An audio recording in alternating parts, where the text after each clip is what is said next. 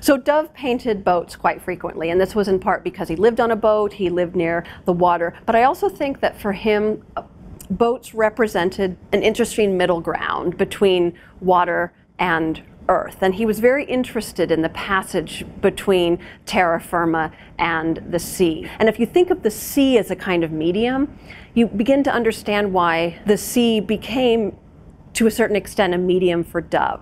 And so the pictures of boats on water for him were pictures of his life, but also metaphors for the kinds of connections he wanted his pictures to make.